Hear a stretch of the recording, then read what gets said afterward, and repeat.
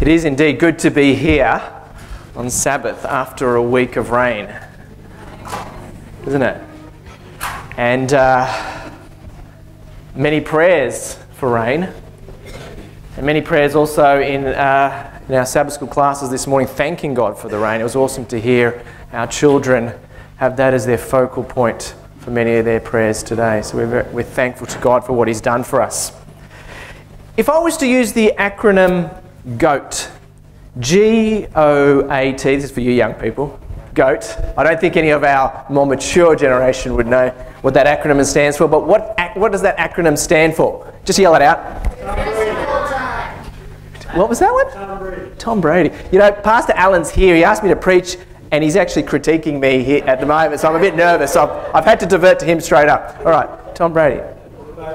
Greatest of all time. He's a football player. Ah, football player. You're right. I heard it. Greatest of all time. G, greatest. O, of. A, all. T, time. So Tom Brady, NFL player. Okay. So in Australia, you know, we've got, it's, it's mainly to do with sporting things. So uh, in Australia, we've got cricket. Love cricket. Uh, Nathan Lyon, he's an off spinner. He's been referred to as the greatest off spinner of all time. If you're an international soccer fan like uh, Asher, the greatest soccer player of all time, he'd probably say is uh, Lionel Messi, I think, at the moment. That's what they're saying. Don't know if you've ever heard of him. Uh, what about when it comes to rugby league? Don.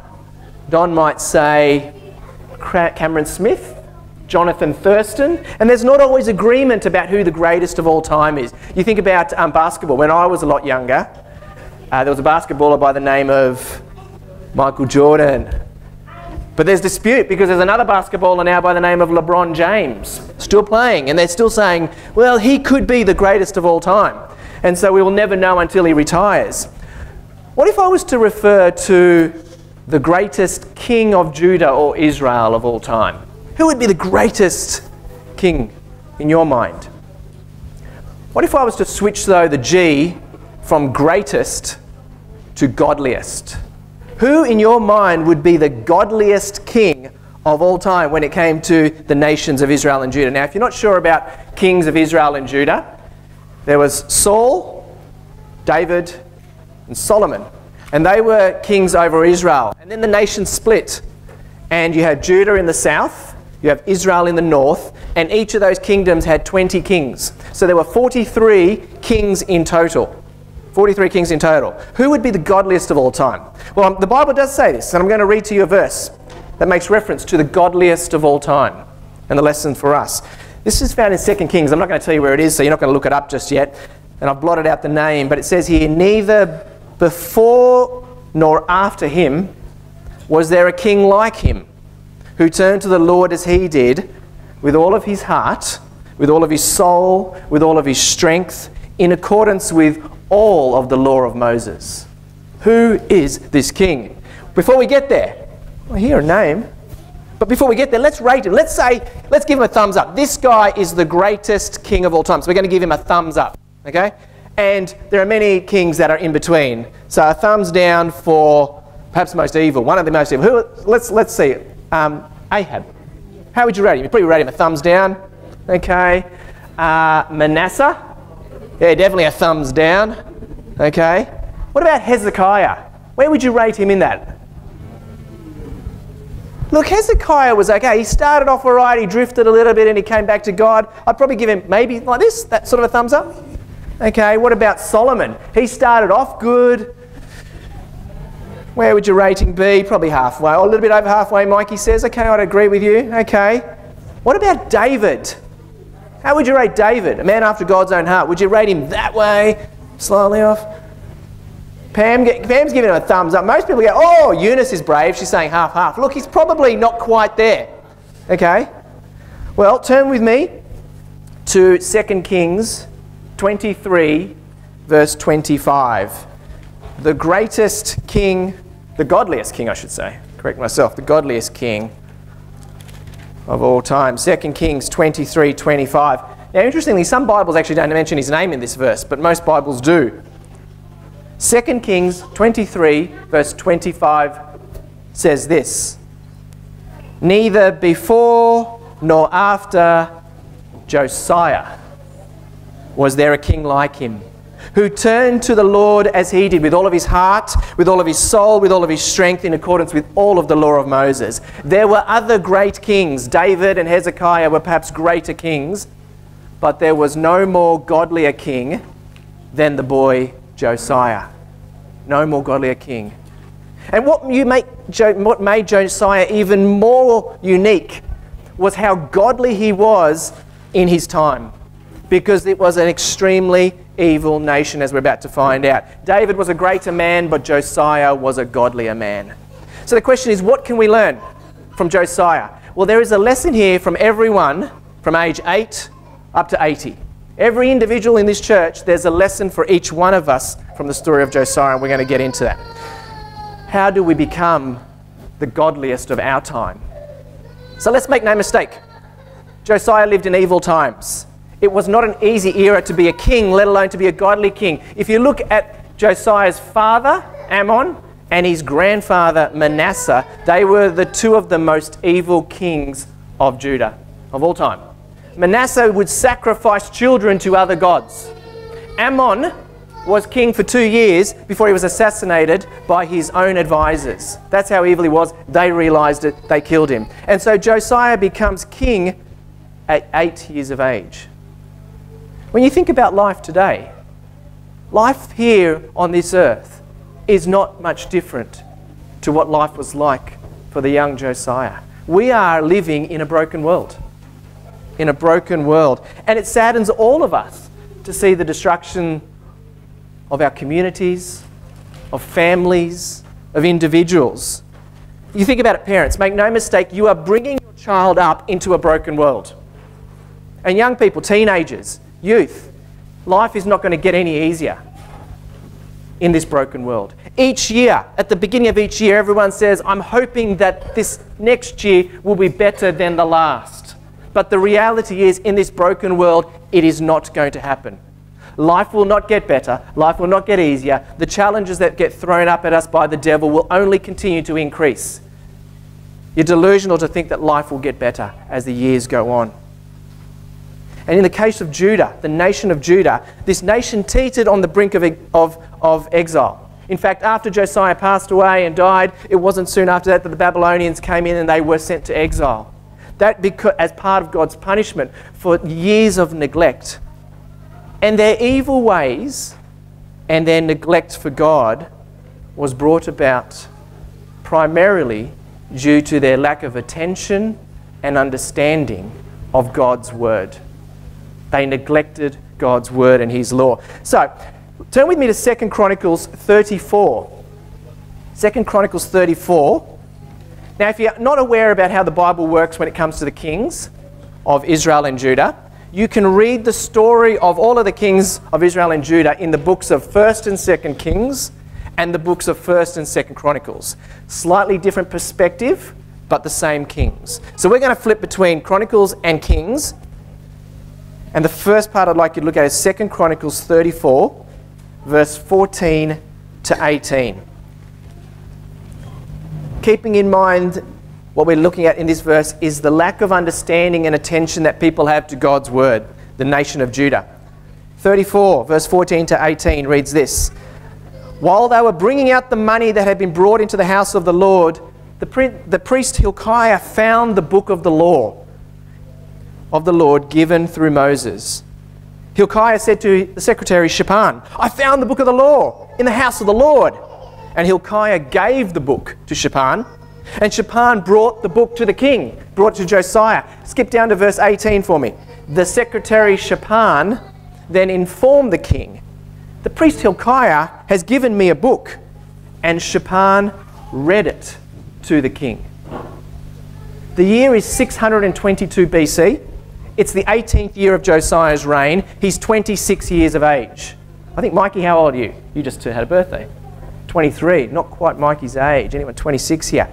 And Josiah has commanded that the temple be restored and rebuilt, and so he's bringing the money. The money that was given to the temple for its restoration, he said, Bring it to the temple because what I'm going to do is I'm going to pay the labourers. I'm going to pay the brickies, the tradies, the candlestick makers, those that are sewing the curtains, and we're going to start this renovation.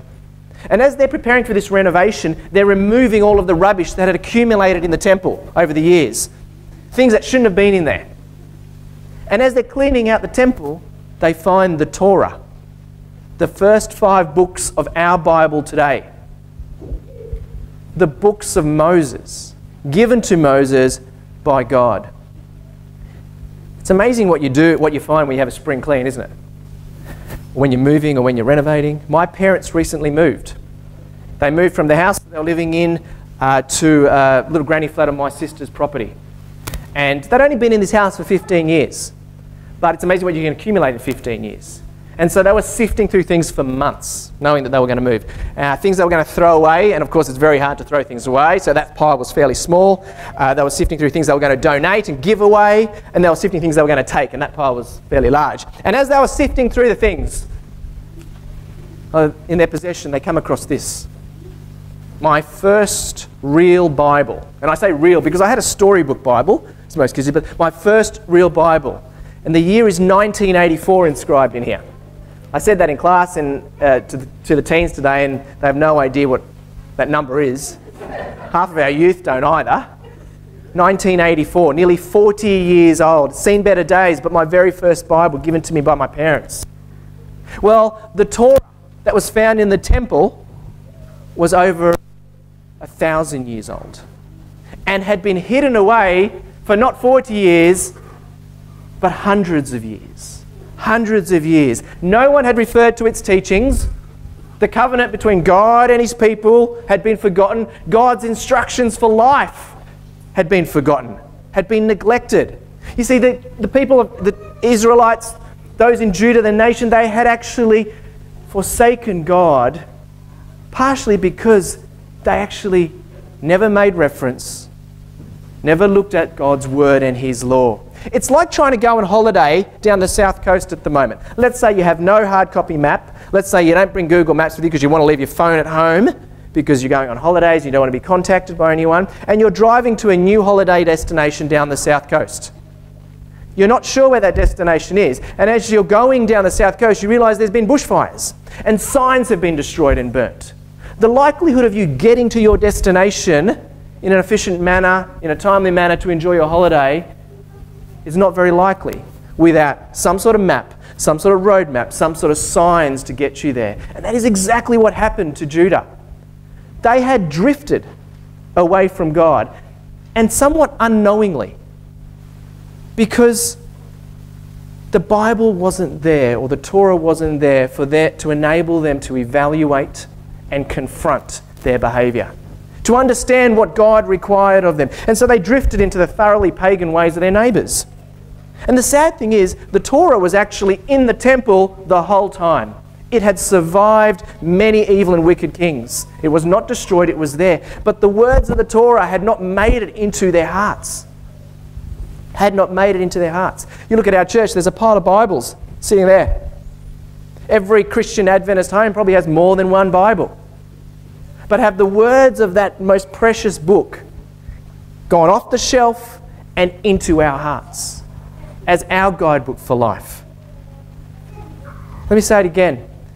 If we do not read and if we do not understand the Bible, we have no basis from which to evaluate or confront our behavior, to guide our behavior. The Bible does serve as our guidebook for life because within these pages of this book is the answers, the principles for every question in life. And there was nothing more pleasing for me today in our Sabbath school class we were reading about the armour of God, and our teens brought out their Bibles. Almost every one of them. And we were fortunate to be able to give one of our teens a Bible today. Elisa got his Bible today. And as we were going through reading about the armour of God, we're going around and I'm uh, allocating some of the teens to read. I jump in and read a verse, and I've never been more happy to be disturbed whilst I'm reading the Bible than when young Sia says, Can I read? To see our young people engage with the Bible, want to read the Bible, makes, makes me so happy as, as, as one of the leaders within our church. Because that's what we want. We must be engaging with the Bible. Because if we're not, then we have no road map for life. Second Chronicles 34, verse 19. Let's go down to verse 19. It says this When the king heard the words of the law, he tore his clothes. He didn't tear his clothes because he didn't like his outfit. He didn't tear his clothes because it wasn't suitable for the day or he was hot. Tearing your clothes in ancient times was a powerful expression of grief, public expression of grief. He was devastated. Josiah was devastated. Because if you look in 2 Chronicles 34 3, it'll show you the reason. It indicates the reason why he was devastated. Remember, he's 26 years of age at this point. 2 Chronicles 34, verse 3 says this For in the eighth year of his reign, while he was still a boy, he began to seek the God of his ancestor David. At age 8, sorry, in the eighth year of his reign, at age 16, he started searching for God. He's 26 now. He's searching for God from 16. Who here is 16? Who is 13? 12. Just like Josiah, the time to start searching for God is now. He's saying at, at, age, at age 16, Who is God? What does He require of me? How do I follow Him? What is the right way to follow Him? Yet, faithfully searching and seeking for God for 10 years, God suddenly reveals what He requires of Josiah 10 years later when they discover the books of the law. And sometimes we get so caught up as young people about needing to know the answers now, understanding what God requires of us now, understanding what, he, what we're reading. It's not easy sometimes. But what God says is just faithfully follow me, faithfully seek me, even if it takes a decade before you understand what I require of you. But start now. And young people, teenagers, those of you that put your hand up when I said you're in your teens, what are you searching for? What are you searching for? Are you looking for things that will give you earthly satisfaction, earthly joy, very limited? Or are you searching for things with earth, heavenly consequences and heavenly reward? How hungry are you to develop that relationship with God, Jesus, the one that gave his life for you? And don't get consumed about having to know all the answers. Josiah didn't know all the answers. But what he said, what, what, what we can guarantee from the Bible is that if we seek God, if we actually go out there and search for Him from that young age of 16, or if you're only 13 or 12 now, you will find God. For a prophet around those same times, this is one, what, one, what Jeremiah says. When you search for me, you will find me if you seek me with all of your heart. Jeremiah was a prophet around those times. He says, You look for God, you will find him. You might not find him today, you might not understand fully today, but you will find him and you will understand, and God will reveal himself to you. And the time for you teenagers to seek God is now. Don't wait till you finish your HSC. Don't wait till you get your next boyfriend or girlfriend. Don't wait till you have 10,000 followers on Instagram. Don't wait till you get your license. Don't wait until you graduate from university. Don't wait till you get your first job. Don't wait till you leave home. Don't wait, don't wait, don't wait. Start now. Like Josiah, grab that opportunity to ask that question Who is Jesus? What does he want from me? What does he require of me? How do I follow him? And even Solomon, who wasn't the godliest of all kings, but one of the smartest, he actually says this Remember your Creator in the days of your youth. Ecclesiastes 12, verse 1 says that. Remember your Creator. Start now. Start now. And the beautiful thing is, you will find God, young people. Teenagers, you will find God. But what you do when you find God and when He reveals Himself to you is so important. Because unless we change our ways and commit to changing our ways, then it's not good enough. It's going to get us nowhere. If we Simply hear the words of this story and read and say, Great story of Josiah, a great young man, became king at eight, turned to God, was the godliest of all kings, but we don't change our ways and commit to God, then we've wasted our time. See, Josiah, he hears the words of the law. He's devastated. He tears his clothes. And he tears his clothes because he realizes where he is at right now is not quite where God wants him to be. But even more so, the nation of Judah where they're at right now, even though he was bringing the people back to God, they weren't quite where God wanted them to be. Make no mistake, the 30 years that Josiah reigned, or 31 years, it, Judah was a godly nation, moved from an evil nation to a godly nation, the nation that God wanted them to be. And so, at age 26, he holds the greatest Passover celebration the nation has ever seen since the days of Samuel. The Bible says it in Chronicles, 2 Chronicles 35 18. We won't go there, but he holds this massive celebration. Remember, the Passover was a remembrance for what God had done for his people Israel. When he took them out of Egypt, brought them to the promised land, saying, I'm going to make you a mighty nation. I'm going to fulfill my promise to Abraham. You are going to be my people. And we've got an agreement. You follow me, and this is who we're going to be. And Josiah realizes this. He says, We need to celebrate the goodness of God. What God has done for us. Because when we don't celebrate God's goodness, when we don't recognize how great He is, when we don't spend time thanking Him for the many things He's done for us, we are at risk of forgetting who He is and drifting into the evil ways of our nation. And the story of Josiah is a perfect example of how a young person can change lives. Josiah couldn't change the outcome. The nation of Judah still went into exile. But for 30 years, they were a godly nation. He changed the lives of many individuals as they turned to God. And young people of our church today, could it be that God is asking you to take a stand for Him in your families, in your schools, in the places that you work, in your universities? Could it be that He's saying, Seek me and you will find me, and then make a stand for me? And you, could you, perhaps, influence one life for Him?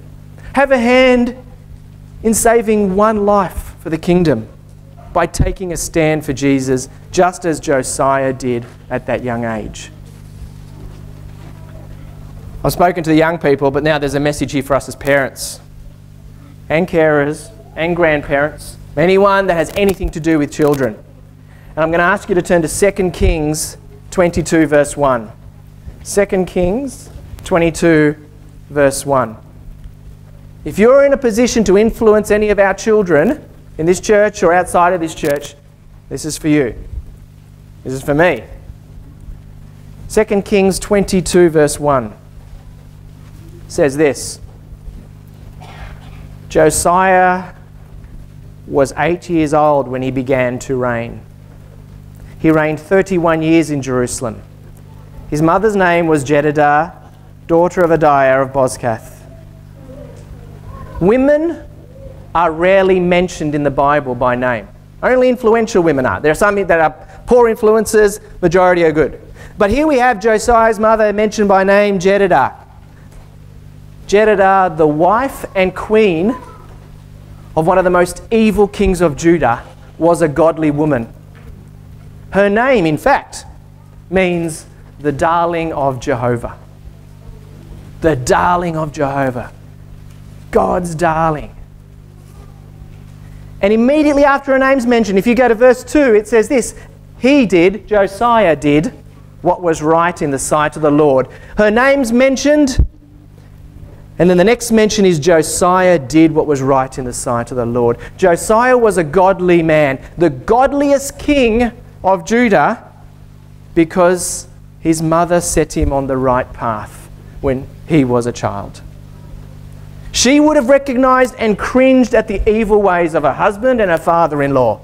And every day she's fervently working in the background to teach Josiah about God's way, what God requires of how to, how to obey God's commands and how to live that godly life.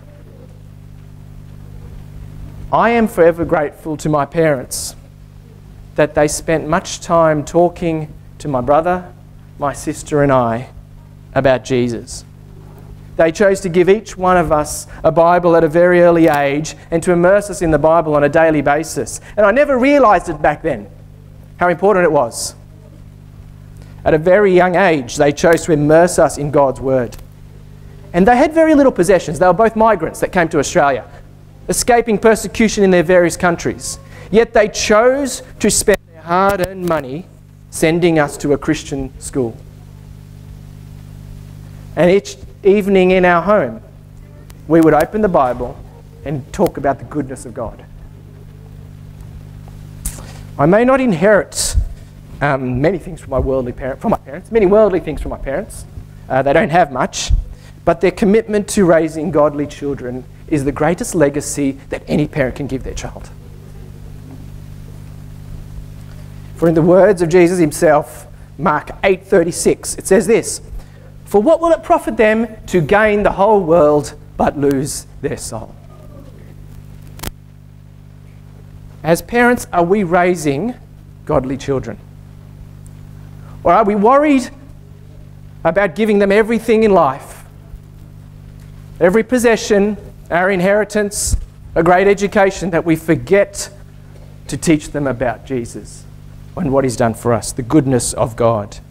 And the story of the kings of Israel and Judah is a wake up call to each and every parent here.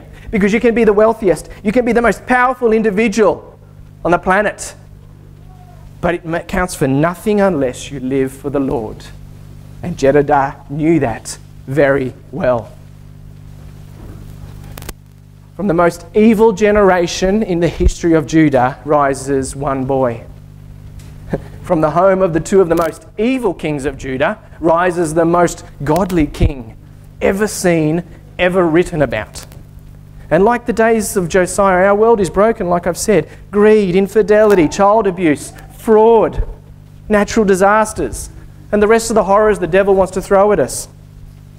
But like so many stories in this great book, Josiah is a message of hope for each one of us, as children, as teenagers, as young people, as parents. Because is it possible that we, as parents and grandparents, that we would prioritize heavenly matters above earthly success when it comes to raising our children? Is it possible that we could actually raise the godliest of children of our time?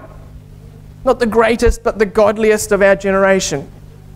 And they would take this message to the rest of the world, to this broken world, to finish the commission that's been given to us by Jesus? Or could it be that you, as young people, you teens and young people here in our church, that you would actually seek God and you would actually find Him when you search for Him? And that you will change lives, not the course of this nation, it's broken, but the course of one life today. Perhaps a family member, perhaps a friend, perhaps someone you haven't even met just yet. But could it be that you could do that? I believe it could be. Because God is calling each one of us to be the godliest of our time, the godliest here in the end of time. And the only question left to answer is like Josiah, will we accept his call?